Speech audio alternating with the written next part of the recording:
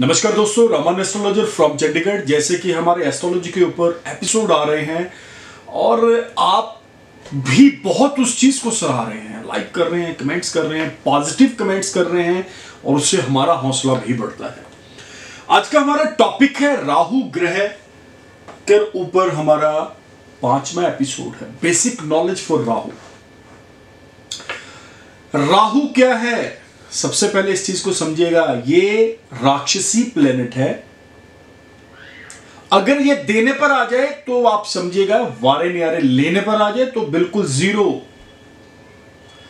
ये वो प्लेनेट है, सबसे पहले समझिएगा, इसे क्या बोला जाता है एस्ट्रोलॉजी के अंदर? छाया ग्रह इन्हें खुली आँखों से नहीं देखा जा सकता है। जैसे सात ग्रह हैं, सूर्य, चंद्र, मंगल, बुध, बृहस्पति, शुक्र, शनि, इन्हें आप देख सकते हैं।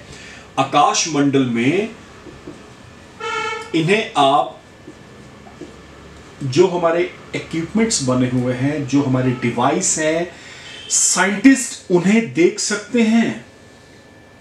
राहु केतु छाया ग्रह है, इनको नहीं देखा जाता है। बोलते हैं, जिस जगह पे शनि ग्रह खड़े होते हैं, उनकी शेडो है ये। क्योंकि इसकी नेचर बिल्कुल शनि की तरह ही है। अगर राहु बुरा हो जाए, यानी कि बैड तो क्या रिजल्ट्स आएँगे दोस्तों?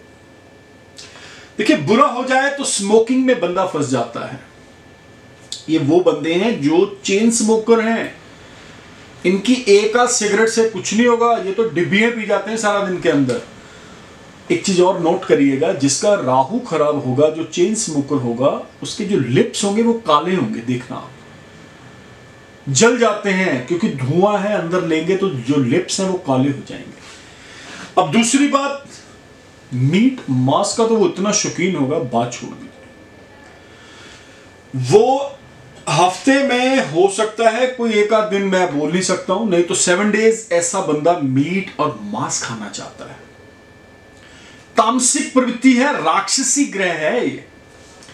उस वजह से मीट मांस की तरफ़ जो एक आपका ध्यान है, वो बढ़ेगा, ज़्यादा खाएँगे।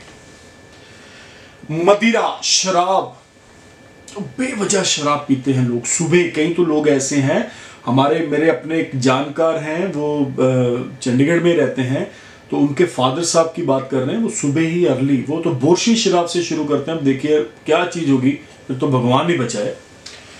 नशे, जो भयानक नशे हैं, कोई भी नशा ले लीजिए आपने देखा होगा लोग तंबाकू, या कोई भी एनी काइंड ऑफ़ नशा, मैं क्या बोल पाऊँगा यहाँ पे। जैसे स्मैक लेना, जब यूथ है आजकल, कई बार आपने देखा होगा ऐसी चीज़ों की तरफ़ बच्चों का ध्यान बहुत ही ज़्यादा केंद्रित हो जाता है। आजकल एक नई चीज़ आई हुई है दोस्तों हुक्का बार लोग उसे बोलते हैं, नहीं, ये तो बहुत बढ़िया है जी एंजॉयमेंट है, ये राहु खराब की निशानी है। राहु, अगर आपको ज़िंदगी में कभी नोट करना, आपने वो काम किया हो या ना किया हो एलिगेशन लगना स्वाभाविक है आपके ऊपर। राहु खराब, चोरी की आदत। कुछ ना कुछ कुछ ना कुछ चुराते रहना। जेब कतरे, पॉकेट मार, ये भी राहु के अंडर आते हैं। तो दोस्तों, इसको कैसे सुधारा जा सकता है? क्या टिप्स हैं, क्या चीज़ें हैं जिनको हम अप्लाई करेंगे अपनी लाइफ के अंदर और आगे बढ़ते चले जाएँगे। अभी तो बात हो रही है हमारी सिर्फ़ बुरा और अच्छे के ऊपर। अब अच्छाई क्या है, वो भी सुन लीजिएगा। ऐसे लोगों के अंदर बहुत हौसला होता है कॉन्फिडेंस की कोई कमी नहीं है। अत्यधिक कॉन्फिडेंस हौसला। दूसरी बात, जितने पहलवान हैं, जो पहलवानी कर रहे हैं, चाहे वो इंडिया स्टेट लेवल पे है, डिस्ट्रिक्ट लेवल पे है, या ओलंपिक्स में है, या किसी भी लेवल पे है। गोल्ड मेडलिस्ट हैं, सिल्वर हैं, अगर वो पहलवान है तो राहु अच्छा था, तभी वो पहलवान बने, वरना ज़ीरो। अब इससे आगे चलते हैं, जिसका राहु अच्छा होगा, उसे किसी भी टास्क में फेंक दीजिए दोस्तों। बहुत शार्प होगा वो बंदा। बहुत दिमाग होगा उसका। पचास बंदे उसको मारने के लिए आ जाए तो भी वो पता है उसने कैसे निकलना है। उसके पास सारी टेक्निक्स हैं। वो हाथ जोड़कर, पता नहीं क्या ड्रामा करके, क्या सिचुएशन क्रिएट करके वहाँ से निकल सकता है। एक और चीज़ इसी के साथ जोड़ देते हैं। राहु का जो प्रभाव है, अगर जिसका राहु अच्छा है, उसकी जेब में अगर एक सिंगल पैनी भी नहीं है तो वो शोरूम पर चढ़कर ऐसी बातें करेगा, आप हैरान हो जाएँगे। स्टाइल उसका कुछ अलग होगा, कि कॉन्फिडेंस बहुत है, हौसला बहुत है। ये वो बंदे हैं जो डायरेक्ट आपकी आँखों में आँखें डालकर झूठ बोल देंगे, और आप सच मान लेंगे। ऐसी चीज़ें हैं राहु से रिलेटेड नेगेटिव फेम मैंने बोला है, आप देखिएगा ये नेगेटिव फेम जैसे एक आपको पता है टेररिस्ट थे ओसामा बिन लादेन, जो हाल ही में जिनकी अभी डेथ हुई है। ओसामा बिन लादेन है क्या? ये टेररिस्ट थे। राहु ने इनको ऐसा उजागर करा, दुनिया में ये छा गए, इंडिया में इनके नाम की फ़िल्में बन गई।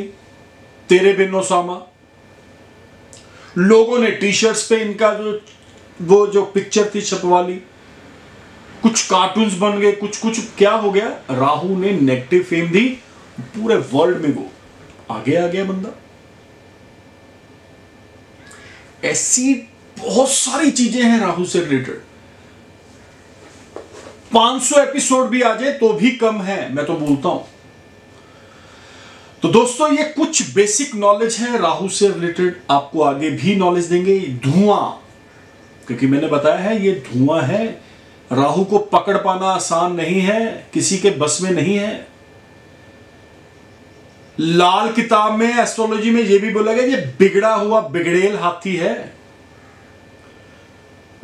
अब देखिए, जो बिगड़ा हुआ हाथी है, काबू कर लेंगे? वो तो किसी के काबू नहीं आएगा। दोस्तों, ऐसी ढेरों लाखों चीज़ें आपके लिए लेकर आते रहेंगे एस्ट्रोलॉजी के माध्यम से। उसके लिए आपको करना क्या है? ये तो हम बात कर रहे हैं यूट्यूब के ऊपर आपसे। अब आपने करना है दोस्तों फेसबुक पे हमारे पेज बने हुए हैं ट्विटर पे हैं इंस्टाग्राम पे हैं। अब यहाँ जाइए, हमें फॉलो करिए। मैं प्रॉमिस करता हूँ डे बाय डे आपको नॉलेज आती रहेगी एस्ट्रोलॉजी की और नॉलेजेबल चीज़ें आपकी तरफ़ सेंड करते रहेंगे। अगर आप पर्सनली मेरे से मिलना चाहते हैं, दूर बैठे हैं, आना मुश्किल है, नीचे स्क्रीन पर नंबर डिस्प्ले हो रहे हैं फ़ोन उठाइए कॉल करिए और अपॉइंटमेंट लीजिए। तो दोस्तों, मिलते हैं बहुत जल्द, तब तक के लिए नमस्कार, धन्यवाद हैव ए नाइस डे